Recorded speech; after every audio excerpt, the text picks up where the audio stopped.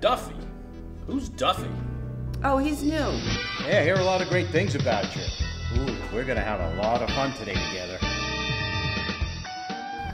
Oh, I know I'm gonna regret asking, but what's in the cooler?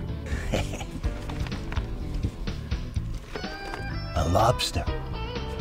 Heather, why don't you get yourself a pair of reading glasses? I don't need glasses. What happens when your arm isn't long enough?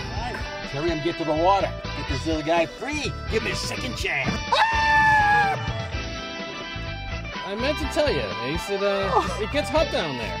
So, um, what are your thoughts on Selectman Gordon escaping from prison? Does this not make you scared? Are you kidding? Have you seen the hell I lived? And I'm out mowing the grass. I pray there's somebody out there that takes pity on me and shoots me with a sniper rifle. You're using a selfie stick to read your messages?